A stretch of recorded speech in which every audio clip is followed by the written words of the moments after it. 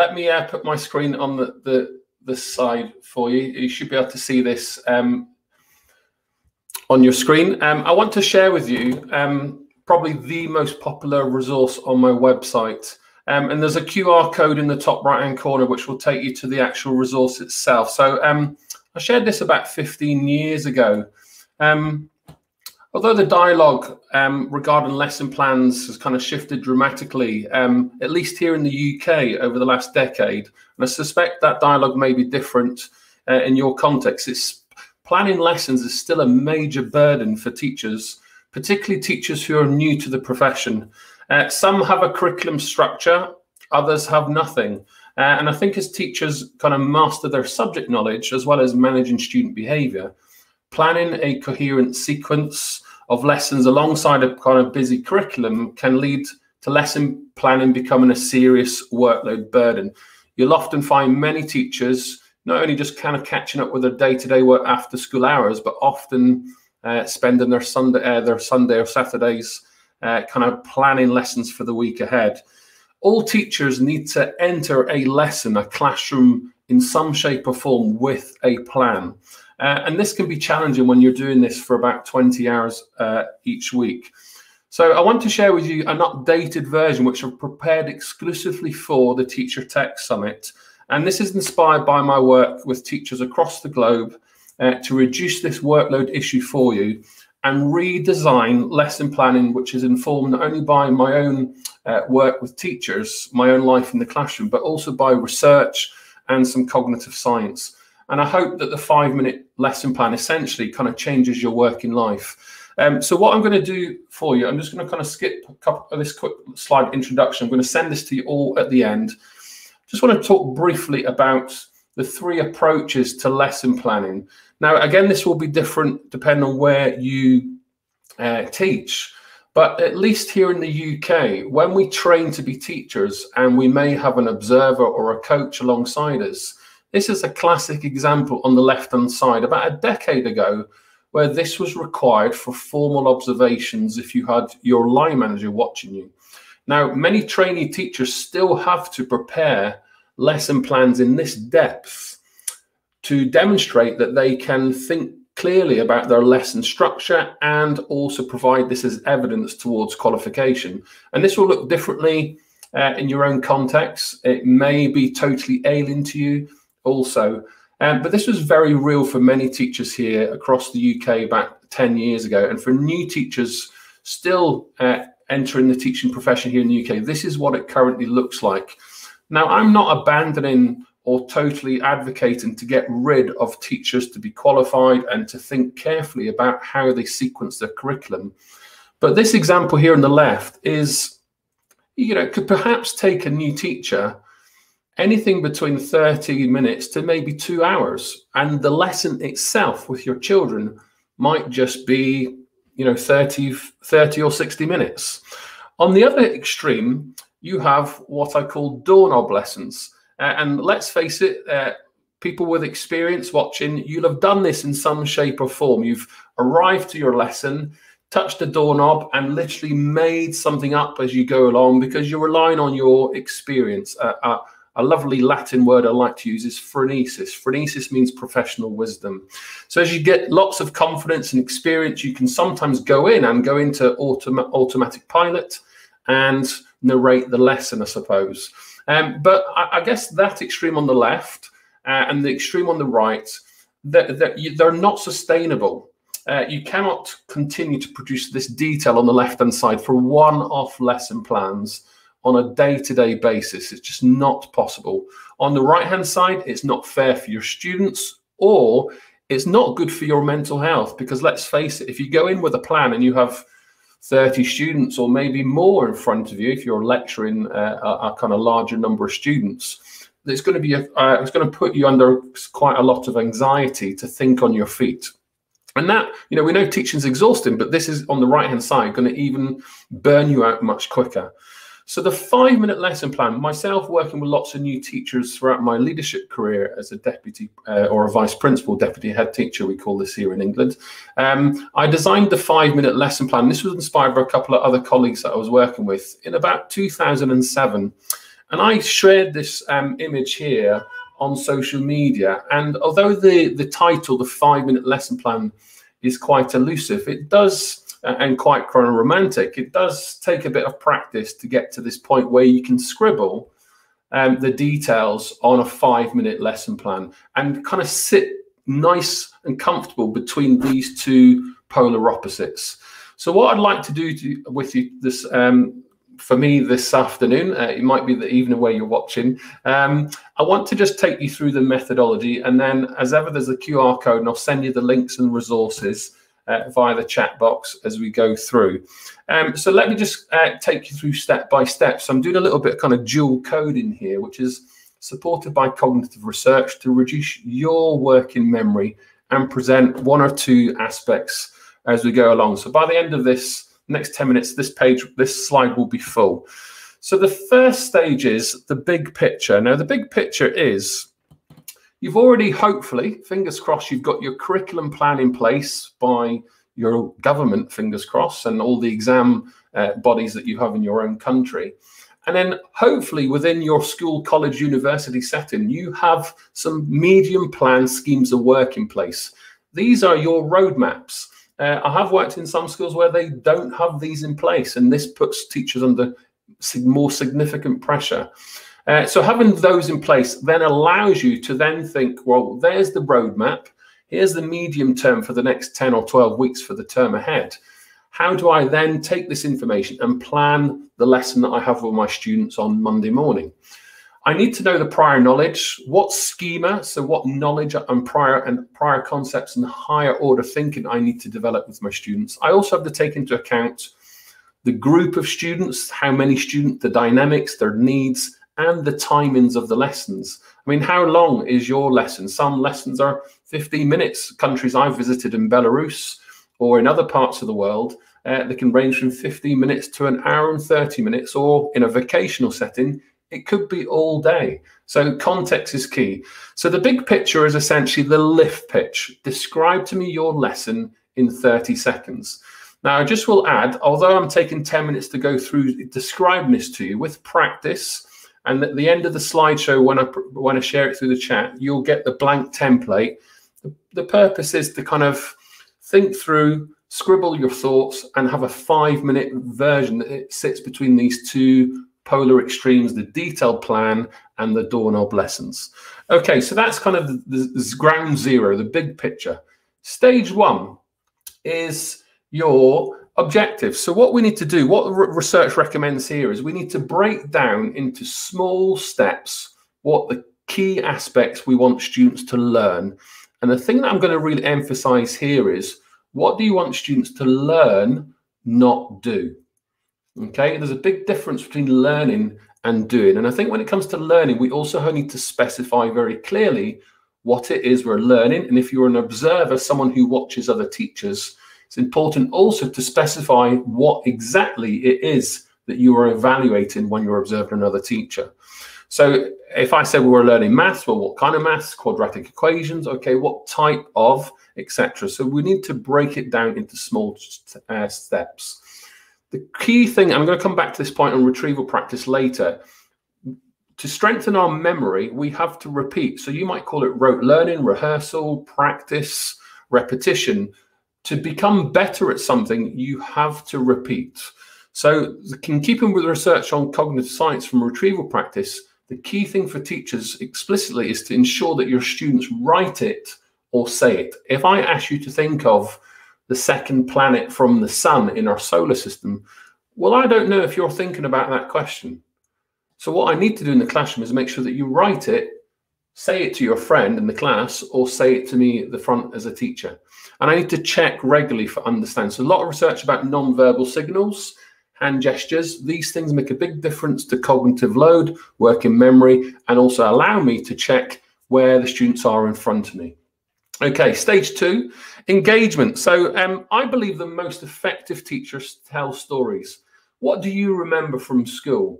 Is it things outside of the classroom or thing, or do you remember that lesson on photosynthesis in the science lab?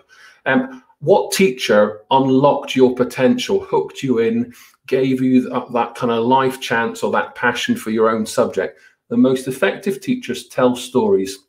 And I'd often advocate when you're managing physically lots of students all together, some are late also, you need to get lessons off to a flying start. So get something planned that's engaging, enticing. It might be an object, an interactive video, uh, a sound, whatever it might be, the context matters. Um, try and bring the curriculum to life and hook kids in early. You might want to also leave the, the kind of key message of your story towards the end of the lesson or the lesson that follows. Uh, stage three, retrieval. So this is the first key moment in your planning. If we just ask children what, or students, I should say, what we learned today, that's easy. To shape memory, it, learning, long-term retention should be hard. So we must ask, what did we learn last lesson? And again, we need to quiz this with our, with our students to check where they all are so that we can decide what to move, uh, where to move forward. Uh, I guess the key one here for me would be to ensure that you plan what the key thing is you will test when you next meet your students. At stage four, presenting new material. So we know that um, I'll come into modeling in a moment, but we need to show each stage in, in steps. So uh, in, uh, in the UK here, we have a, a, children's program called Blue Peter, and they're always showing little models of things they've made as they present. Uh, so it's almost, I call it Blue Peter teaching. Here's one I made earlier. And you might not show the finished product, the assignment, the drama performance, or a table and chair if you're in a kind of practical classroom, you'll just show various steps as you go through forward. Um, stage five, planned modeling. So we know we can model, I can do hand gestures, I can pose a question, I can use my body and non-verbal signals to support and challenge students' motivations. I can use a visualizer. I'm obviously, uh, despite the uh, technical glitch at the start, I'm working online. I'm conscious of the various ways that I can model and scaffold ideas. One of the key tips here in stage five is to follow this great mantra. I do it first, watch me.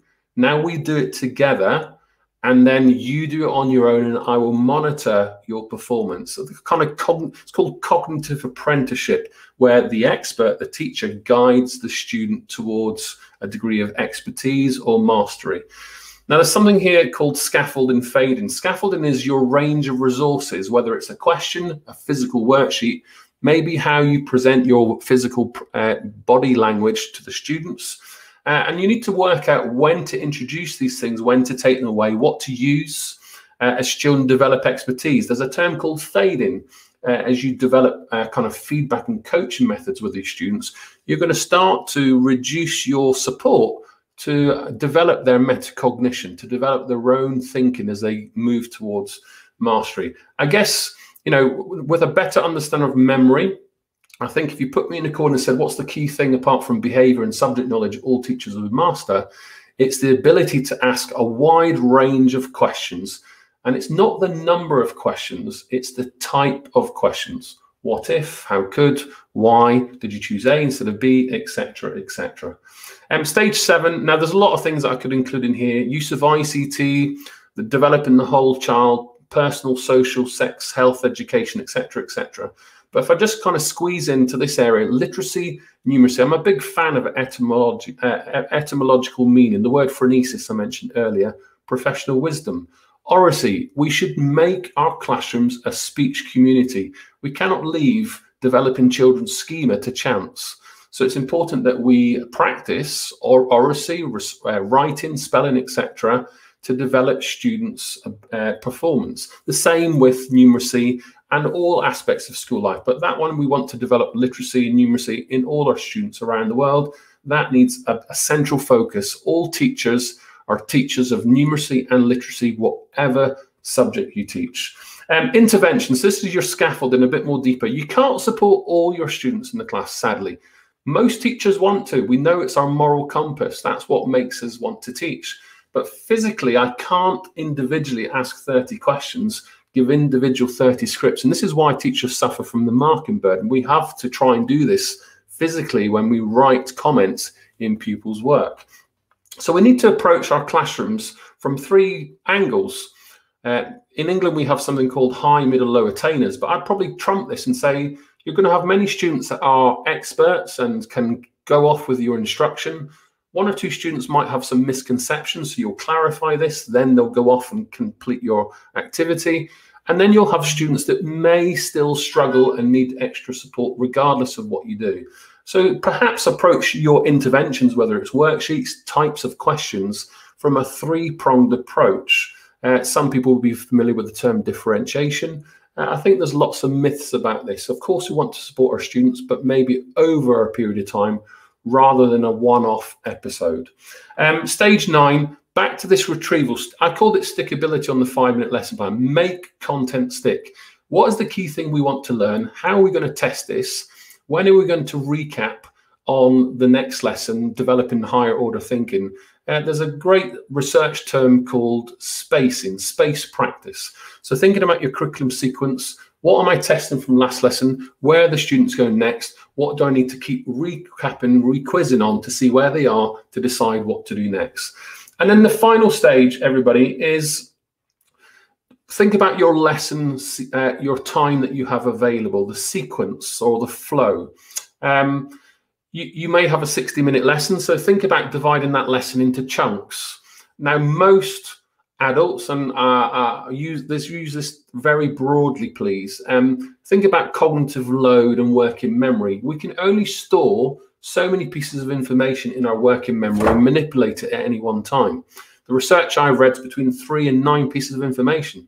So I'm conscious that all this stuff already um, is lots of information for you. So I'd encourage you to watch back the whole video from this conference today to take more things away so that you can then enrich your practice. But think about working memory in your classroom. How do you design the lesson to flow to give children time to think, students time to think, as well as you to provide explicit instruction? I guess a couple of tips there. My favorites is, is the KISS theory, keep it simple, stupid or I use MINT, M-I-N-T, materials, are you in or out of your seats, noise level, and time. And these are great ways for scripting direct instruction, being clear and precise about the learning.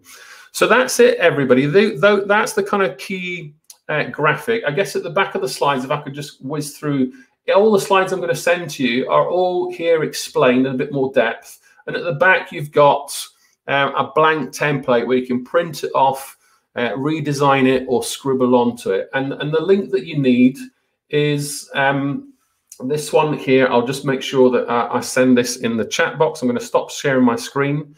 Um, I'll share it there in that chat box with the host and they can put that on uh, to the light link for everybody. But that's it. Five minute lesson plan, folks. Um, I think, you know, regardless of where you work, all teachers struggle with workloads. I think what we all need to do is try and make that uh, life as a teacher much easier. Uh, these are just my own experiences. I think teaching's a team sport. It's important that we share our wisdom. And I think, you know, going back to that point Vikas made about 45,000 teachers on this conference is fantastic. And, you know, teachers who can mobilize themselves can really shape policy. So if we can kind of take this huge audience back to our own kind of countries and take this in another context, we can really influence government policy and make the life of teachers easier, more better rewarded, whether it's terms and conditions, and a more fulfilling and kind of better status in our society. Um, we all do amazing work. Um, thank you for uh, listening to me. Apologise for the technical glitch at the start. And I hope I wish you all the very best for the rest of the conference. I'll be tuning in to see what um, everyone's got to say. So thank you very much. Ross, that was wonderful. I love how you not only walked us through such a great framework, but the visual presentation was just so beautiful. So thank you for sharing that. You know, you, you touched on this one thing that the teacher workload right now is so heavy. It's so heavy. And I'm curious, you know, I love how you've mapped everything out so nicely at a time when people i think are having to like think about balancing a lot of priorities right? Mm-hmm. whether it's the technology they're thinking about social emotional learning they're thinking about the content they have to cover the skills like we're constantly hearing about all the things today's learners need. How might somebody be able to leverage a tool like this or think about a tool like you've just shared to think about how to balance the many different priorities so that they don't see them as mutually exclusive but rather a holistic experience it's a it's a very good question. Now um, I'm going to put another ch- ch- uh, link in the chat box um, for the host to share. But I've actually thought about all aspects of school life and I've created other templates to help teachers manage um, managing behavior, managing marking, uh, inspections. I'm um, trying to think of others. Uh, doing an assembly, a public assembly uh, for the first time. You know, if you've not done these things before, they're quite nerve wracking, and they can make you know. You know, we talk about mental health for teachers. It's a very stressful um, industry. So we need to share our wisdom, but also create little methods where we can make complex tasks a bit easier to manage. So the five minute lesson plan, when I published it, I think today it's had over 2 million downloads, which is just crazy, but it just shows you also that um, it's a, a, really useful tool for helping uh, make complex tasks easier to kind of construct. Uh, I, I, guess the kind of question, you know, on balancing and some of the things that I've seen, uh, I've probably worked with about 30,000 teachers face to face in the last three years, you know, before the pandemic. In the last year, about 10,000 online in, in, in about 60 different countries. And one thing that I know is that marking drives all teachers crazy, regardless of context. Of course, there'll be different influences and different forces. Um, and different pressures from external uh, observers, whether that's your school or college leaders, inspections, or even, dare I say, parents. I, I think we need to all ban the word marking and instead replace it with feedback because we know that feedback can be written, which is your marking, verbal, I can talk to you about your work, or non-verbal, well done.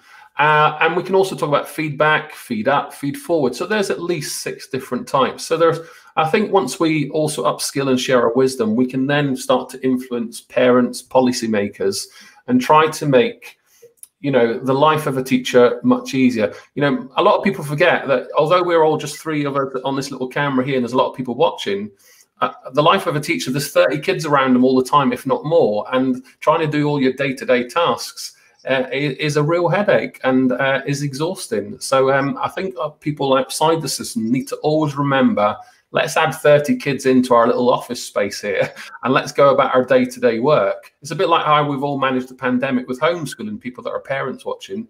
It's it's hard work it's full on. Um, so that's that's pretty much how teachers live on a daily basis well thanks a lot ross i really appreciate you taking the time to be with us here today but before you before you end i want to show you the uh, the results of the live poll okay. uh, we have. And what we asked was which of these best statements best describes the quality of your teaching during the pandemic? And of all the teachers that have responded, you know, 91% have said the experience has made them a better teacher. Are you are you surprised with that? No, I'm not, because I think, you know, think about how we've all adapted to the technology and the circumstances. Teachers are very talented people. They've got a wide range of skills. And now I'm not full time in the classroom and I'm working you know, consultancy, author, blogger, you know, podcaster, all the different hats I've got on, and you know, also trying to navigate. Uh, congratulations on your doctorate. I, am in, I'm in the middle, and I've just hit a wall, and I'm, I'm getting really demotivated about mine. So I've got many hats on. Um, but teachers are very talented people, and I think once you get time to reflect, you know, now I'm outside the classroom, I can think of, wow, I've actually learned loads in my teaching career and my leadership where I've got a wide range of skills. So I think teachers, you know, apart from the initial shock for us all, and then responding to the technology, whether you had it or not, in your school or in your country's infrastructure, you know, the the the emergence of technology is fast for us all to keep up. But there's tons of stuff out there. I think it's about filtering the good ideas to the top, so we know, oh, that one works. It's going to reduce your workload and make a great difference to your kids. And I think you know, it's not been the story for everybody but the vast majority of us have, have you know, I've been doing webinars for 10 years, but everyone's been doing them all the time, full time for the last 12 months. So now we're all up to speed, which is great. But, uh, you know, what's the next thing? You know, uh, we won't go into that, but, uh, you know, hologram teaching and whatever else it might be. But that, that's the future we still got to discover. And that's why we're here today.